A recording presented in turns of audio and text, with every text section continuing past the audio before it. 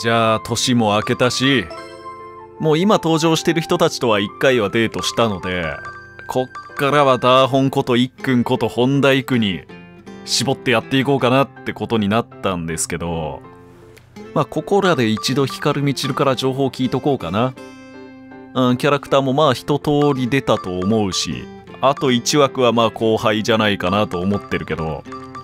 じゃあ光恋愛相談は光だよね電話ありがとうマリーヒカルだよふふちょっと相談があるんだけどいい？いいよね？なになにあの恋愛のことなら光に聞いてもいいって言ってたよね。ミャーなんて？マリーどうしちゃったの？何でも聞いて。たまに知らねえ言語使うな。フランス語とかかな。あのねえー知り合いの評価と情報か。情報聞いとこうかな。情報ってなんだ？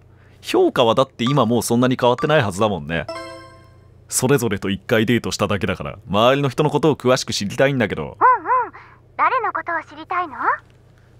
えーっとこれ全員のこと。あ聞けるね。一度に。そう全員のことこうやってまとめて聞けるから今まで電話してなかったんだよね。なんかちまちま聞いてもしょうがないかなって思って。で風間亮太9月9日。あそっか誕生日も今まで知らなかったんだな毒ガーラはいやまあ亮太の誕生日くらい知っててもおかしくないけど 悲しい思いしただろうな亮太は9月9日に忘れてたからね、毒ガーラは。あここで誕生日知ったから、あ、ちょっと待って、本題行く。あ、1月18日危ねえ、間に合う。もうちょっとじゃん、誕生日。1年目の誕生日間に合うね。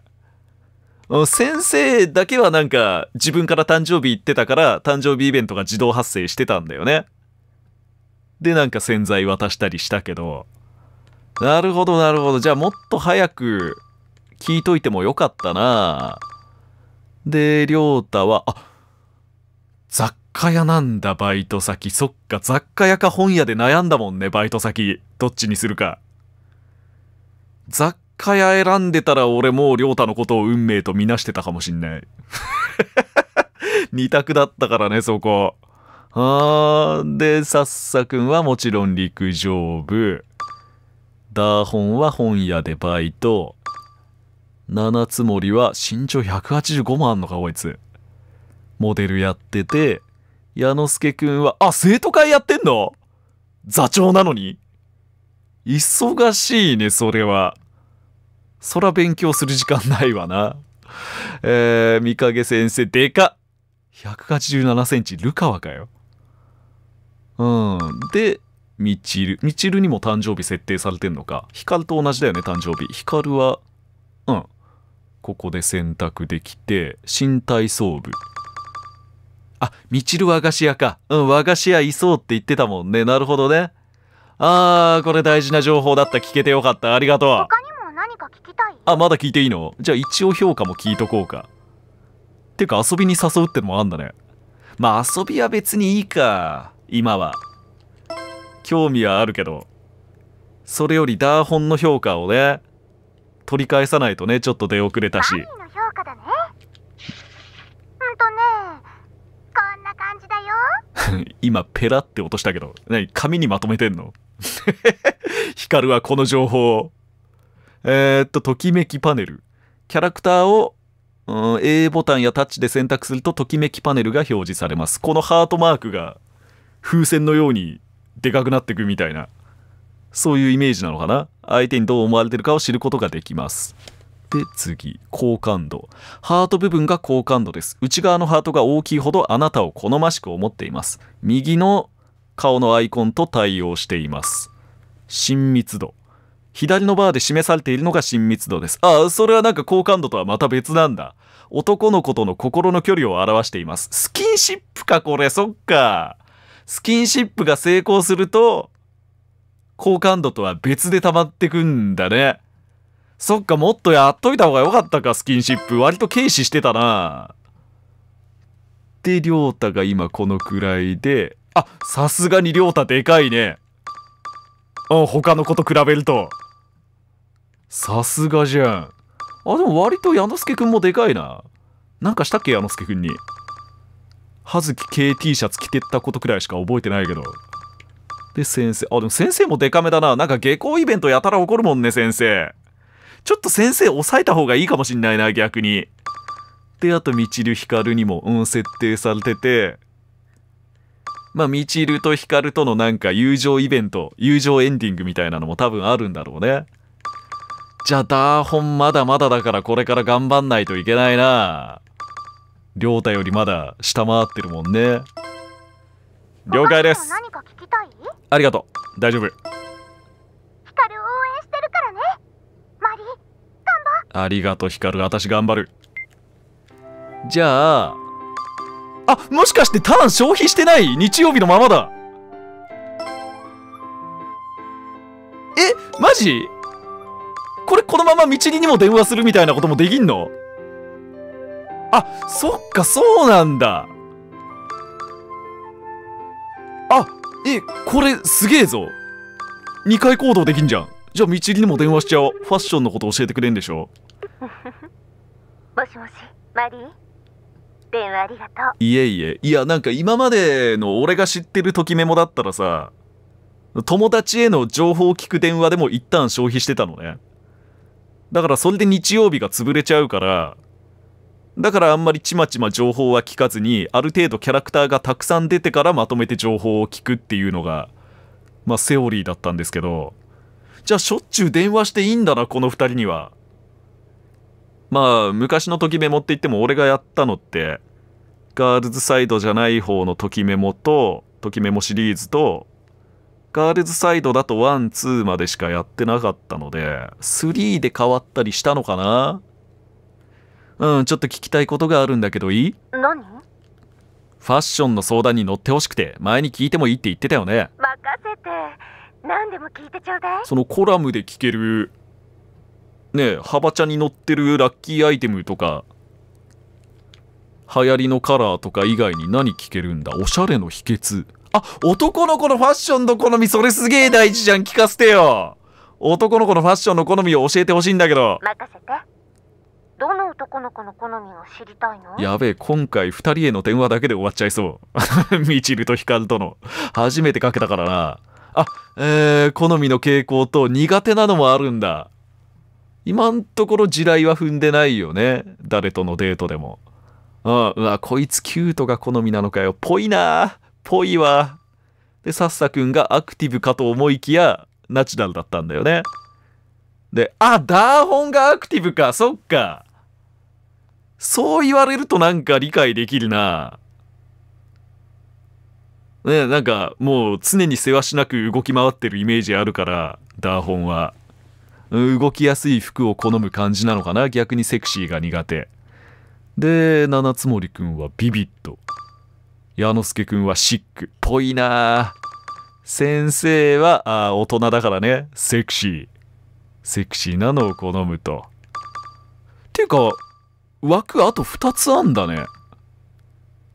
なんか1人は後輩キャラじゃないかなって思ってたけど2年目の4月で出てくる。もう1人なんだろう隠しキャラとかかな。もっとパラメータ底上げした方がいいか？パラメータで登場する可能性ある？これちょっとわかんないな。他に聞きたいことはある？まあでも今更もうこの時期から新キャラにこだわんなくてもいいか。全員出したくはあったけどうん。ありがとうねみちああでもまだ聞いとこう。秘訣っていうのもあったよね。おしゃれの秘訣。それ何？おしゃれの秘訣を教えてほしいんだけど。おしゃれなことなら任せて。任せてるよ。信頼してる今よマリンに教えられるのはこんなところかな。うん。何教えてくれんだ？ファッションアドバイス。あん？ファッションレベル。ちょ。ああファッションレベル。こっちのファッションレベルによって教えてもらえることが増えるんだ。あ6属性存在してるってこととあとさらに上位のねウルトラなんとかっていうのがある。でもこれはもう分かってることだな。そうだな。もっとファッションレベルが上がってきたらいろいろ教えてくれるんだ。他に聞きたいことはある？ファッションレベルが低いうちは理解できないんだね聞いても。少なくともみちるはそう思ってるんだねじゃあ大丈夫です。ありがとね。聞きたいことがあったらいつでも気軽に連絡してね。いやこれ本当に気軽に連絡できんな。いやこれでターン消費しねえんだったら男の子誘う時も消費すんなよ。何男子に電話する時だけ全エネルギー使い果たしてんだよ 一日使うな電話ごときで。いやもうちょっとごめんねみちるひかるへの電話だけでもう10分ぐらいやっちゃったけど。あじゃあ買い物でも行こうかな。あてか未読メッセージ来てんね。これも一応目通しとこうか。乙女のお庭ああこれもみちるとひかるだった。えー、っとヤッホーマリー初詣楽しかったね。あでもこれは2人と初詣に行ったから見れるメッセージだね。楽しかったねって。お正月はゆっくりできてる？私たちは家の都合でいろんなところに挨拶回りしたりお仕事もあったりでずっと忙しいの。それなのに。初詣一緒に行ってくれたんだね。嬉しい。でももうすぐ、えーもうすぐまた学校でマリに会えると思うと嬉しい。うんうんヒカルも学校始まったらいっぱい遊ぼうね。今年もよろしく。これもしかしてスタンプ？送れるそっか前は送れなかったけどあんまり時間経っちゃうと送れなくなっちゃうのか。ていうかもう自分のスタンプだけど。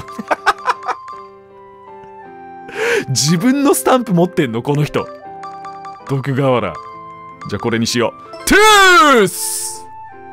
トゥーススタンプね。いやまあ親指だと思うけど。あスタンプで返してくれた。うわ2人のスタンプだ。かわいい。これはもうこれ以上返信できないかな。なるほどね。ああ。じゃあそうだね。アクティブが好きっていうのがみちるのおかげで判明したのでダーホンが。デートに誘う前に服用意しとこう。買い物行こう。でアクティブの服がどこに売ってるかわかんないけど。あファッション大冒険。大冒険でしょ。アクティブでしょ。大冒険はもう。これだな。外観的にもなんかスニーカー乗ってたし。うんアクティブっぽいぜ。じゃあここで何買おっかな。まあ寒い時期にも対応できるようにとりあえずアウター買っときたいな。いやめちゃくちゃアクティブだな。これ寒さしのげるか？じゃあこれとボトムも欲しいね。あージーンズなんかいいんじゃない？あとはじゃあロングスカート。いや結構使っちゃうなでも金。ああれ使おうか。あれ使える？今スタンプカード。こここれで50%オフ。やっちゃおっか。せっかく50%オフにすんだったらもっといろいろ買っちゃおうかな。トップスも持ってない色って何色だろうな。もう分かんなくなってきちゃったな。じゃあこれと適当になんかうん。無難な T シャツ。よし。買ったぞ買ったぞ。半額で。じゃあ出ましょうか。あ今スタンプカードリセットされてたね。あしかもその買い物からもう押してくれんの？良心的。ありがとうございました。よし。これで対策できたなダーホンとのデート覚悟しとけよ。おミッチー。完璧と言ってもいい。忙しいって言ってたのに年末年始。本当に？本当。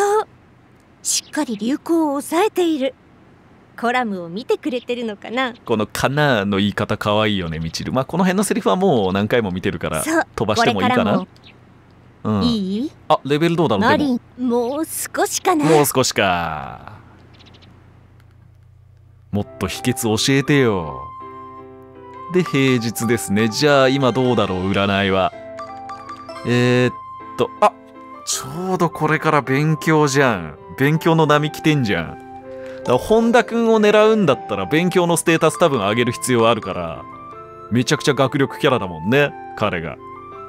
だから学力のステータスは特に意識してあげたいのでこういう運勢いい時はしっかりお本屋さんってことは欲しかった本前は売り切れだったんだよねちょっと探してみよ母ちゃんいらっしゃいませ。うお前の母ちゃんじゃねえよ。あバイト先に客として来たのか。あいっくん今日はバイトの日なんだね。そそ今日はお客さん少ないしちょっとゆったりかな。君は？うん。えーっとねいやでもやっぱバイト先一緒っていいな。当ててよかったな。ああちょっと待って。言わないでいいよ。こっち来て。なんだなんだなんだ。こいつサプライズ好きだな。目閉じてみてとか。よく言うし。あこれでしょ？これほら前いいにさ君が探してた本。なんで知ってんの？私が探してた本。わこれいい。え取っちゃおう。よし。うんよくわかったね。うんうん。バイトしてた時そんなことを話してたでしょ？ああそうなんだ。でも入荷したってわけじゃなくて変な棚に差し込んであったのを見つけたんだ。さすがの記憶力だなそんな。何気ない会話で言ってたことを。そうだったのをよく見つけたね。発想の転換。お客さん気分でこの本を探すとしたらって考えたんだ。そしたらすぐ見つかったなよんかもう人生が全部楽しそうだなこの男。お客さんが一回手に取ってから自分が考える正しい場所に置いちゃったんだね。うんでもやっぱそういう人間に魅力があると思うんですよね。お客さんが一回手に取ってからああなるほどね。うん。さすが一君名推理だな。うわいいもん見れた。本屋選んでよかったぜバイト始めたからまあ今後はお金もたくさん手に入るからね。うん次のクリスマスまでにはドレス用意して。あと1年目は花火大会逃しちゃったけど花火大会前に浴衣も用意しときたいな。浴衣もちょっと高いんじゃないか他の服より。じゃあ日曜日になりましたね。誘っちゃおうか？誘っちゃおうか？あーでもでもどうしどうしようかな。今勉強運いいんだよな。そう勉強運いいうちはあー休日も使って勉強してステータス上げといた方がいいかなって気もちょっとするね。せっかくだから。この勉強運の波が落ち着いてからデートに誘おうかちょっと真面目にやりすぎちゃってるかもしんないけど。あとストレスも溜まってきたな。そろそろ休息した方がいいか。ストレスどんくらいで休息していいかもよくわかんないんだよな。もうちょっといけるか。以前のシリーズではどうだったっけな？あ柊くんだ。あ初めてかなニックネームチャンス。矢之助くんくらいなら許してくれるでしょ矢の ダメそう。いやでもなんかあんまり挑戦できてないなこのニックネーム選択。どうしてもお気に入っちゃう。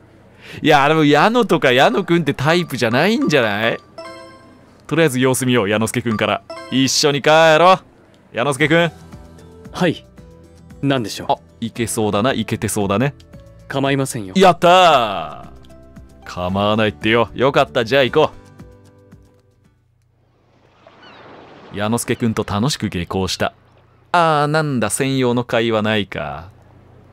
こないだの課外授業で見た参加用あそれだ本の話でしょ透明になるやつだよねいっくんが教えてくれた参加用綺麗だったな。図鑑や写真集ならまたまた見られるかな。図書室でも行く？図書室なんてエンカウント率高いでしょあいつ。いた。母ちゃんあなんだ本屋か。母ちゃんじゃねえよお前の。やべこんなつい毎回突っ込んじゃうこれ。母ちゃん面白すぎるもん。今日いっくんバイト？ヘルプ頼まれてね。君は？こないだの課外授業で見た参加用が綺麗だったから。いやーあん時課外授業行っといてよかったな。うんあれが綺麗だったから植物の写真集が気になって。うんうん。そういう興味のつなげ方っていいよね。いやーダーホンのおかげだぜ。ちょっと待って。こっち。世界が広がったのは。あまたこれ見れた。この辺。高山植物カラーメーカーに食虫植物ミクロの世界いろいろあるよ。こないだと同じ本棚だな 同じコーナーだったのか、でもねだいたい10リッチくらいするんだよね。そんぐらい払うよ別に。わあ結構するんだね。そうだ。今度さ自分たちで植物写真集を作るってどう？携帯のカメラでパシャってさ。素敵。うん面白そうだね。そうそう。こんな高いの買わないでいいって。もったいない。そんなこと大きな声で言ったら店長に怒られる。書店員だからなあなんか本屋イベントめちゃくちゃ怒るじゃん。さっきから。で勉強フィーバータイムは今週までかな？あ完全なフィーバータイムは今週までかな？勉強するぜ。私は勉強するぜ。テストの点でも追いつくぜ。ただちょっとやっぱ気配りはバイトだけじゃそんな上がってかないか。おいお前ら。俺が見えてんのかよ？課外授業かいやそうさっきいい思いしたからな。来週の日曜は課外授業だ。でも植物園でのイベントがあったからいっくんとは。課外授業絡みでもう一回いっくんのイベントあるっていうのは考えにくいんじゃないの？他の男子と出会うことはあるかもしんないけど。休みの日に俺の顔見たいっていう既得なやつは参加するように。そう考えると別にもうねダーホンのイベントは視聴済みなので行かなくてもいいのかなって気がするけど行きます。すみません。なんかもうなんか断れねえ。よし参加しよほう。お前ら結構真面目じゃん。関心関う心。他のこのイベントもあるんだったら見たいしね。参加するやつは日曜な。はーい。くそー。なかなか断れねえ。断れないループ入ってきちゃったあーでも先生の評価ちょっと高くなっちゃってるから抑えたいって話もしてたよな。あーいっくんの誕生日。大事よかった。これ誕生日前に聞いといてよかったね。ヒカルに誕生日。プレゼント買いに行く。いやそうだな。でも課外授業で先生の評価上がりすぎちゃうから抑えた方がいいかも。でいっくんへのプレゼントは大王グソクムシの模型。クリスマスにも抱き枕渡してんだけどなグソクムシの。でもこれかなホットアイマスク。あー勉強家だから目は疲れてるかもしれない。これ悪くないかな？ヘアカタログはねえなねえわ。うんグソクムシアイマスクヘアカタログの順かな？うんダイオウグソクムシが本命だと思うけど行ってみよう。こんでプレゼントは OK よし頑張って渡すぞ。また言うんじゃない？ちょうどこういうの欲しかったんだよって。グソクムシの模型欲しいタイミングねえだろ人生に。いっくん。どうしたの？今日誕生日だよね。はいプレゼント。学校で渡すんだな。覚えててくれたんだ。ありがとう。覚えててくれたっていうかこないだ聞いたんだけど。まあなんだろふふ 早速開けてみて気に入ってくれるかな？あこれはすごいよ。もう完璧な反応してる。わかる。どうかな？気に入ってくれた？もちろん。俺の趣味そのもの。でも今こういうのが欲しいって君に話してないよね？やっぱり今欲しかったんだ。グソクムシ。いつも欲しがってんな。少なくとも彼の部屋にダイオウグソクムシが2体いるんだもんね今。クリスマスの抱き枕と。ん？多分？なのにこんなに俺の好みを分かってくれてるなんて本当にありがとう。大切にするね。うわいい反応満足。すごく喜んでもらえたみたい。よかった。いややっぱそうだな。デートの回数も増やさないとダメだな。ちょっとたまたま今ダーホンのイベント起こりまくってるけど。課外授業行かなくてよかったか？でこれなんだ？午前も頑張ったしお腹が空いたな。今日も元気？マリー。この声はみちるの方。あ両方いるか。あみちるひかるねえねえヒカルたちと一緒にランチしよう。あらそう。行く行く。ランチ？学食とかあんの？この学校。やった楽しくなりそう。まあ私立の学校だもんな名門校って言ってたし。そういうのあんの三か影先生っていつもいい匂いがするんだよね。思いのほか食うね クソデカハンバーガー。ハンバーガーあれ何挟んであんの？みちるのやつ。あでもみちるがハンバーガーなんだね。なんかヒカルと喫茶店に行った時ヒカルがハンバーガー好きって言ってたけど。まあ2人とも好きなのかな？で三影先生がいい匂いがする？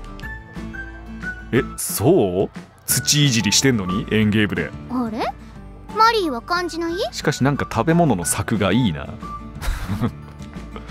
キャラの作画となんか ちょっと浮いてる感あるけど。多分あれは植物の香り。うん。想像だけどお家で食用ハーブとかお花を育てているんじゃないかな。なるほどね。家でもやってんのかそういうの先生。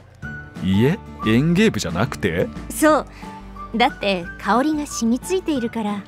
そうそう近くにいつもあの匂いの元があるって感じだよね。飯食おうぜ早く。先生の香りちょっと気になるかも。あ他愛もない会話でしたね。お。ピンポンピンポンが出ました。そして課外授業をね。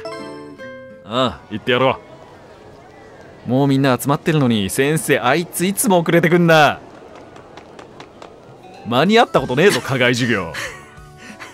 間に合った。それも何回も聞いてんのよ間に合ってないやつ。えっと先生間に合ってはいませんよ。いませんでした。勢いで乗り切る作戦失敗か。行こうぜ。それじゃ始めるぞ。今回はどこ？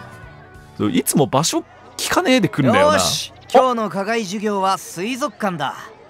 お前らはしゃぎすぎんなよ。水族館だったら本題行くの可能性あんじゃないの？植物園とカテゴリーが同じでしょなんか。お好きそうじゃん。水族館彼スキンシップしてみようかな先生とも。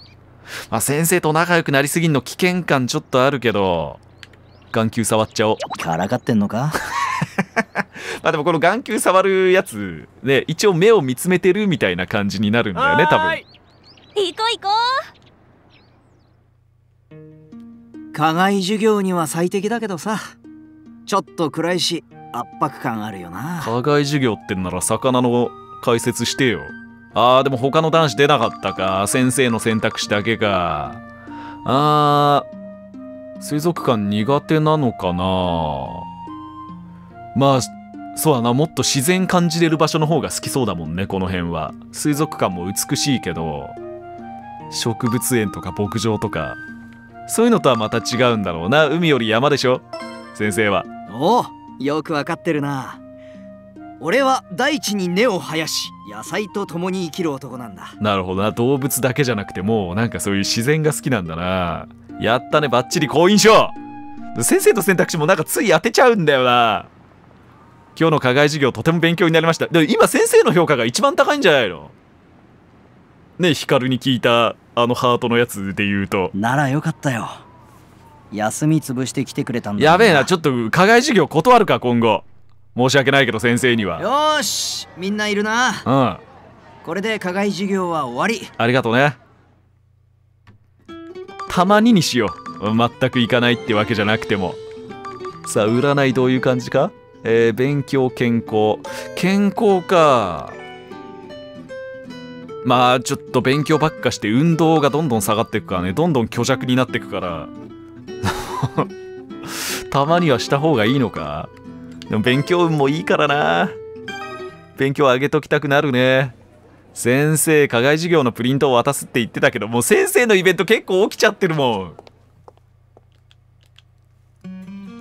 おでもこれもいいなこれもいいぜ。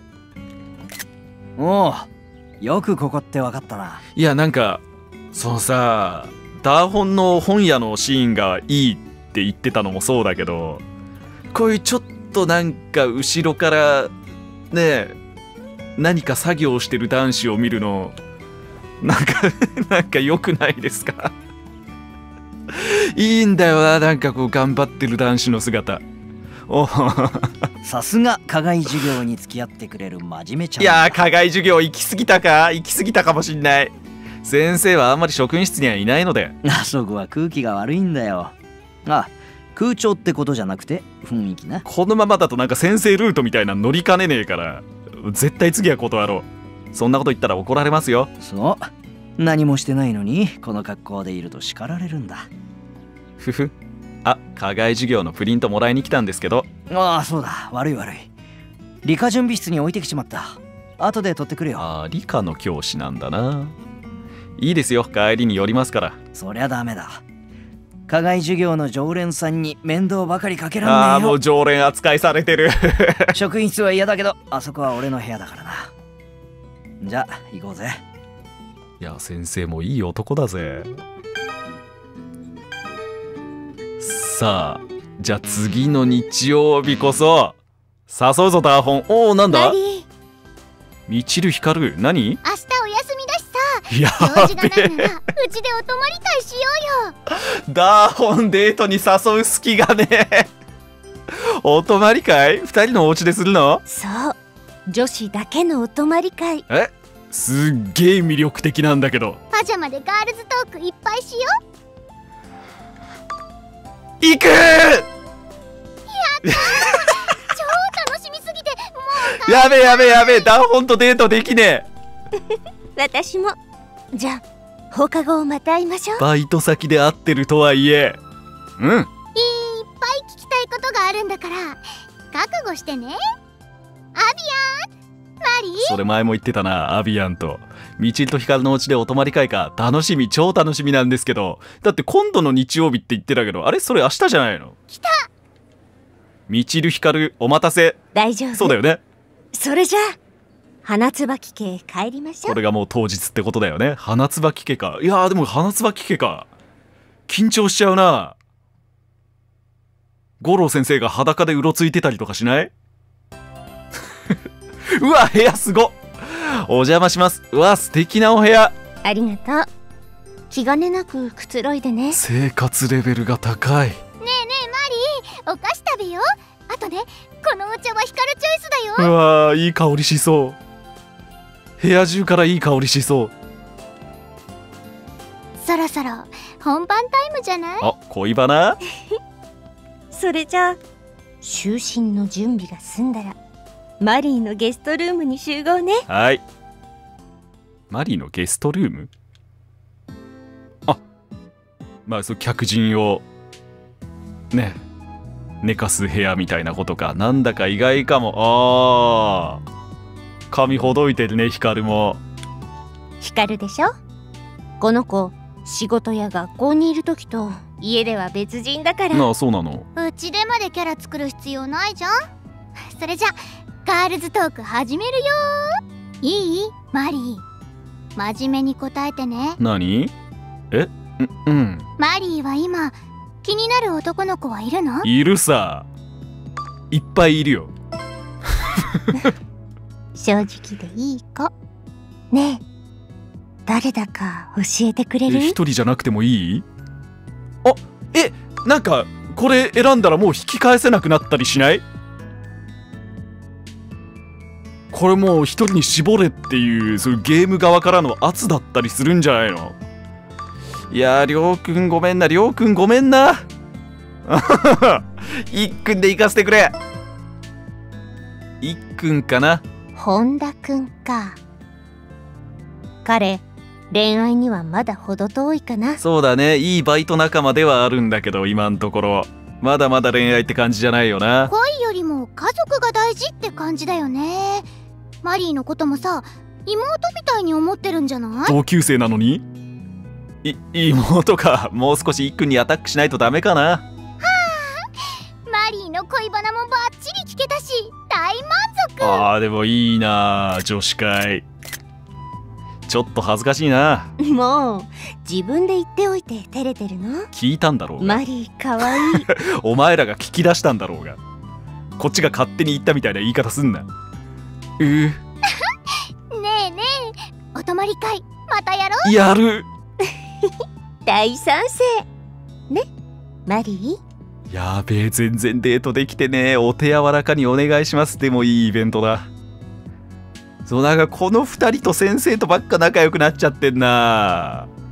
さあもう寝ましょもう最近全然出てこないもんね亮太。も うなんかなんか出てこないと気になっちゃうんだよあいつ。えー、まだ話したんないよ。うダメ。夜更かしはお肌にも良くないし目覚めも悪くなるはあ全然眠くないっての。ふふ。じゃあマリー おやすみなさい。なんかふふっていうの口癖だよな。みちるおやすみひかるもおやすみ。まだ話したそうだな。ん？え？いや寝てんのか？おお前寝てんのか？すでに夢の中みたいね。眠くないって言ってたでしょうがふふ。また言ってる。ふふ。3人でいろんなことが話して楽しかったな。あーでもみちるとひかりに好き宣言しちゃった。いっくんのこと。これは引き返せねえぜ。バイト先もかぶったし。こっからもっと攻めていかねえと。あでも今ちょうど日曜日か。まあ次回にしようかな。うん。次回。まあちょっと今回はみちるとひかりに初めて電話していろいろ聞いて。まあそこで時間食っちゃったので1ヶ月くらいしか進んでないけど。うん次回はもうデートしよう。もう2年目になっちゃうもんなもうすぐ2月で。3月には期末テストで春休み。あっという間だね。1年目終わっちゃいそうだわ。よしじゃあまた次回よろしくお願いします。ありがとうございました。